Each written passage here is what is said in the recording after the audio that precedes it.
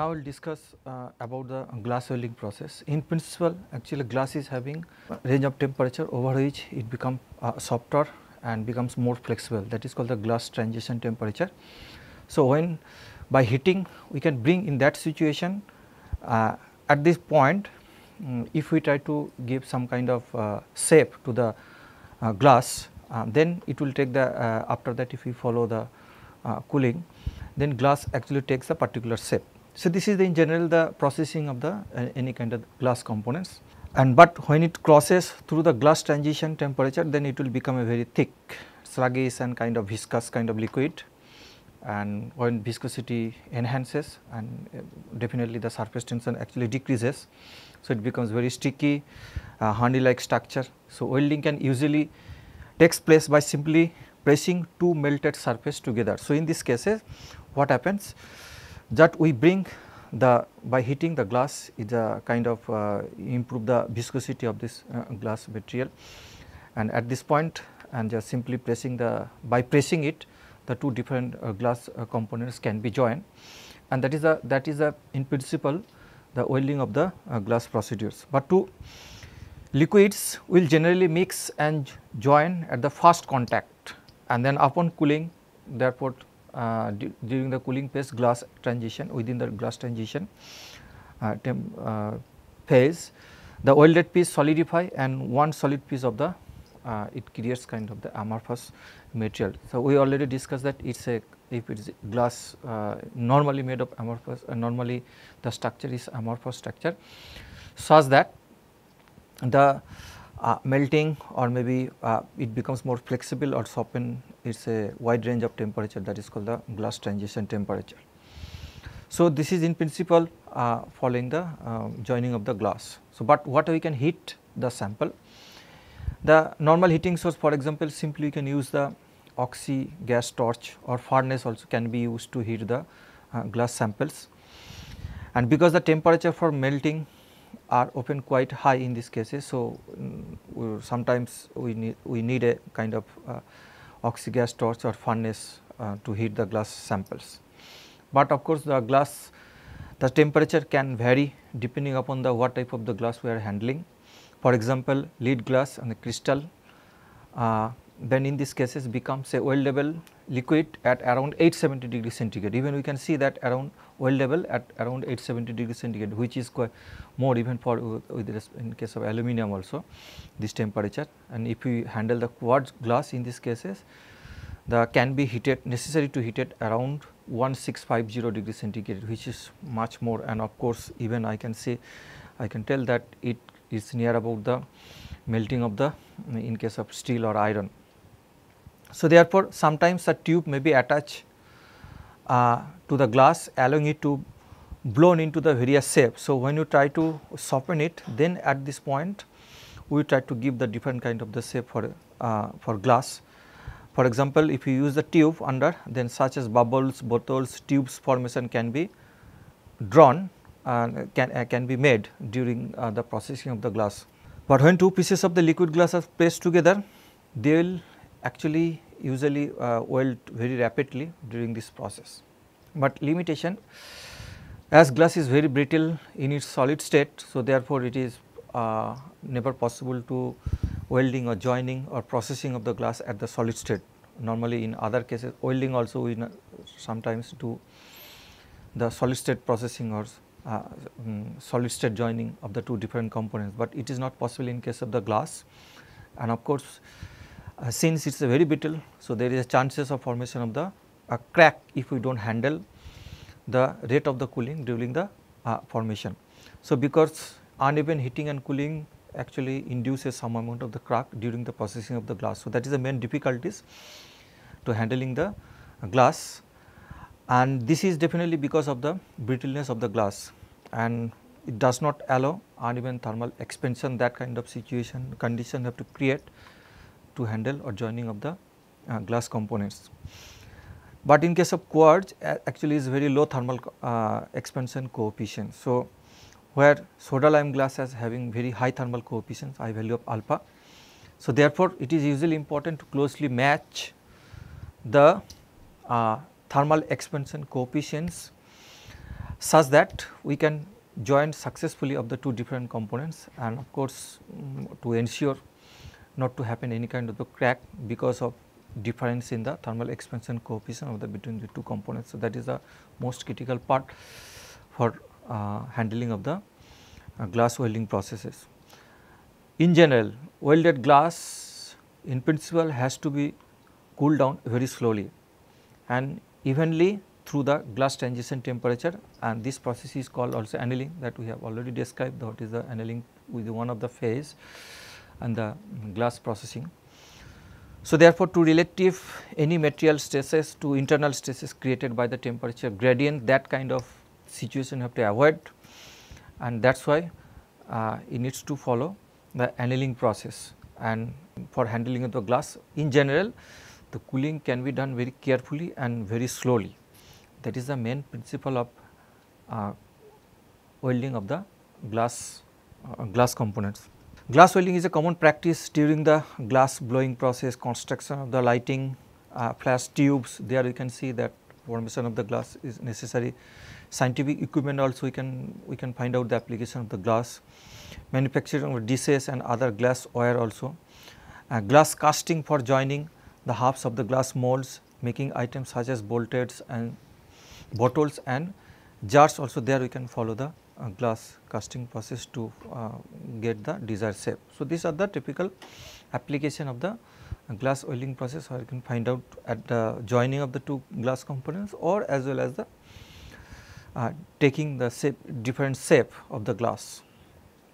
Now, I come to that ceramic welding process of course, we know that ceramic is one another type of material which is huge applications, but there is having the also similar kind of behavior it is also very brittle, but this is having the highest potential because of the increased toughness, high heat resistant capabilities and of course, and the non-catastrophic failure uh, fracture behavior. So, therefore, all these typical characteristics makes the processing of the ceramics is very difficult and most important thing is the ceramic is also very brittle. If we look into that operating temperature and strength weight ratio, we see the uh, for operating temperature for welding of the ceramic somehow in between here you can see that around this temperature and where the strength of uh, weight ratio is almost uh, at the middle position and of course, which is completely different from the carbon composite. These are the we can see the operating temperature of the ceramics such that we can do the welding of the ceramics. Processes to weld or joining of the ceramics is like that electron beam welding can be done laser beam welding can be done friction welding and diffusion welding normally all the, these processes are normally applied for the joining of the ceramic components. High beam energy is restricted to small ceramic parts for example can be used only for the ceramics with a defined melting point for example aluminum oxide Al2O3 and not for silicon carbide and Si3N4 cannot be handled by using the high energy beam. So, therefore, electron beam or laser beam welding for joining of the ceramic components is limited to particular ceramic components. One example is for example Al2O3. High stresses caused by severe temperature gradient can easily damage ceramic joints. So, that is the one point because ceramics the it cannot absorb the deformation uh, therefore, high stresses can be created if there existence of any kind of the temperature gradient. So, that can easily generate that can easily generate damage the ceramic joints. So, ceramic can also be joined by themselves or using the metals by diffusion welding processes, but it is very complicated and large pressure amount of pressure is required specifically for uh, larger components and which is in principle the um, which is the principle of the diffusion welding processes also and high equipment cost long joining times normally leads to the high production cost if we follow the diffusion welding processes. So, most feasible and uh, economical process is brazing for joining of the commercial ceramics components. Both metallic as well as the ceramic braze can be used for joining of the ceramic components. Properties and applications of ceramics I can see the properties. It is a high temperature resistance that is the main uh, properties and the, we can based on that several applications is possible or ceramic components. Extremely high hardness low electrical conductivity and therefore, this can be used some insulating material, high chemical resistance as well as the lower density compared with the metals. These are the typical advantages of the ceramics and that is why is uh, with these attractive properties a lot of application can find out using the ceramics.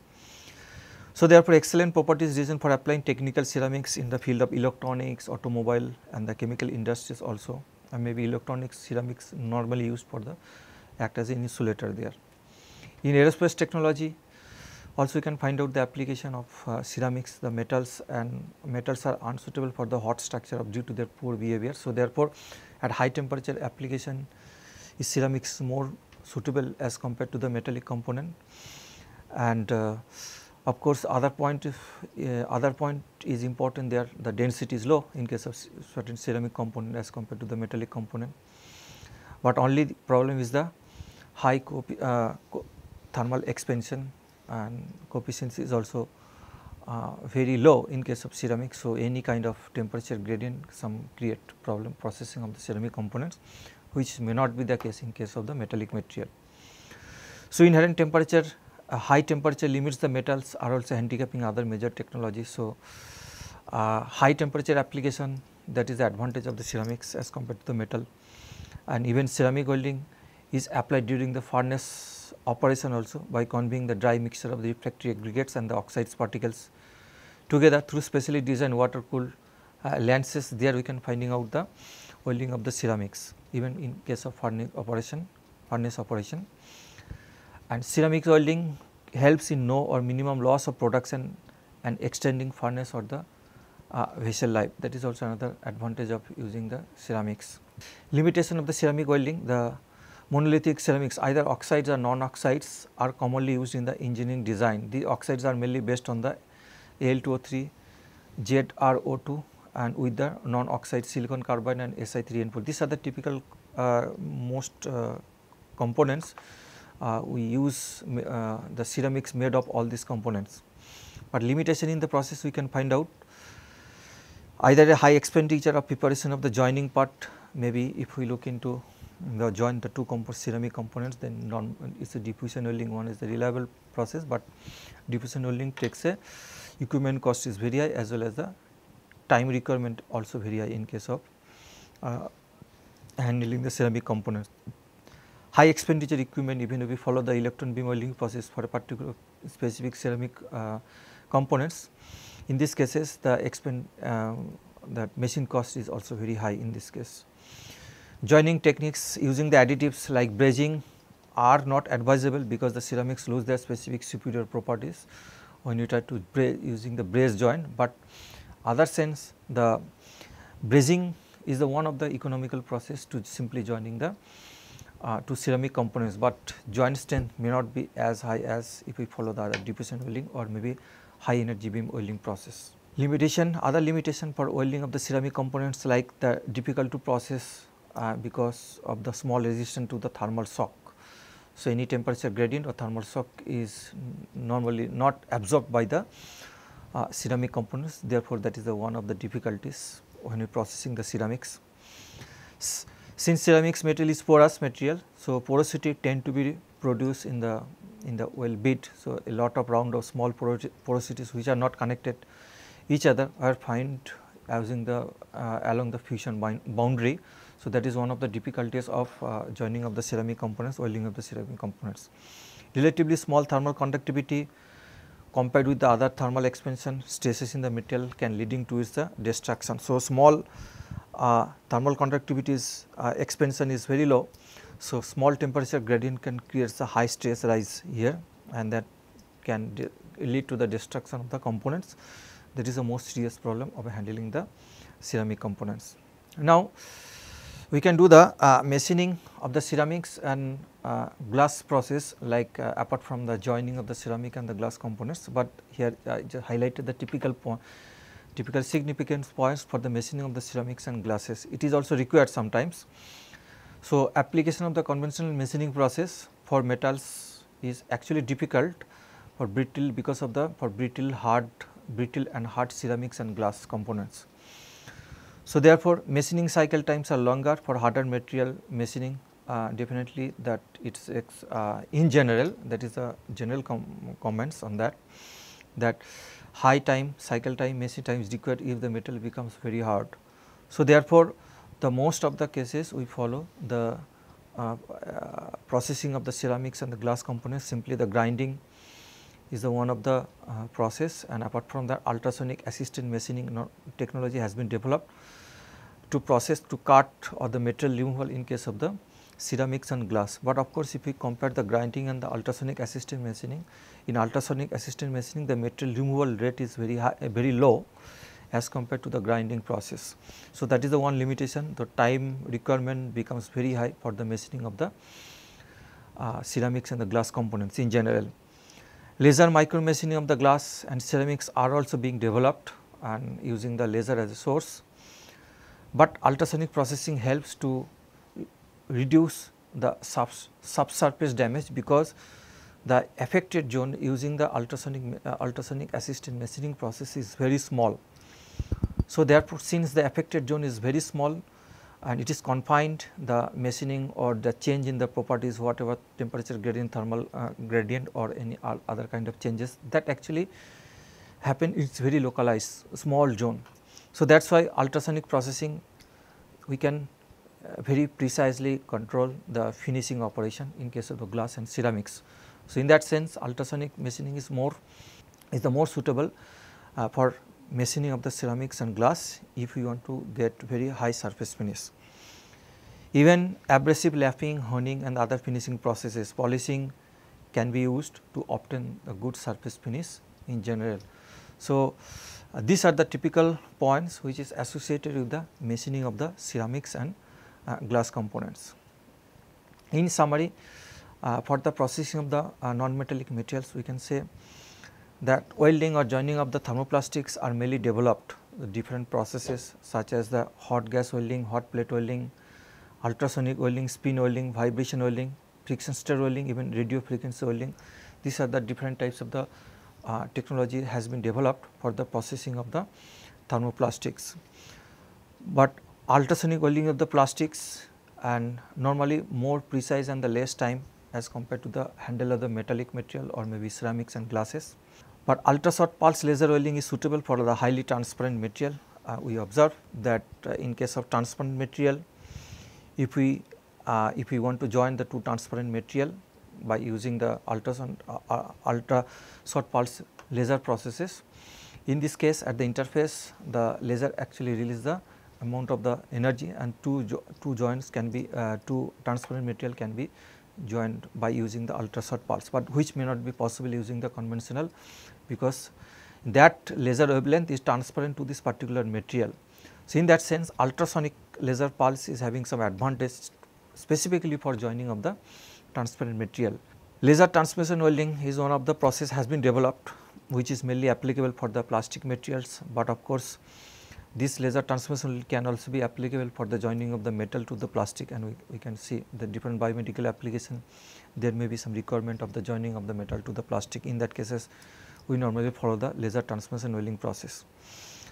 And laser transmission welding is mainly applicable plastic material because it is a narrow difference in the thermal properties actually exist. So, that is why it is more suitable there. And glass welding we can see the glass welding uh, is done we can some heat source simply by using the uh, oxy gas torch and or maybe uh, furnace heating is required for handling the uh, glass components or maybe joining of the glass components, but only limitation of the glass components is that the cooling rate becomes very very slow um, such that um, uneven heating and distribution can be avoided. So, one of the economical method for joining of the uh, uh, joining of the ceramic components is the uh, brazing process although the joint strength may not be as high as, as compared to the other process, but it is more economical process. Uh, dissimilar welding between plastic to the metal the laser transmission welding is one of the best option that we have already uh, discussed here. So, uh, in this module actually we have tried to uh, look into the different non-metallic uh, materials and normally we focused on the analysis of the or different manufacturing technology applicable for the uh, plastics mainly and that thermoplastics within the plastic we can make the two different group thermoplastic, thermosetting plastic and apart from that what we can handle the ceramics and the glasses glass components. So, in these cases normally we discuss that um, different joining processes mostly focused on this, this module, but apart from that the different machining processes also applicable for the plastic components as well as the ceramics and glass. And also we have discussed that joining of the components biomedical components there is often required to joining of the two components for example metals and the uh, plastics may be uh, specific applications and that we try to explore what are the different techniques just try to give overall view of the different manufacturing technology which is relevant to the non-metallic materials. So, thank you very much for your kind attention.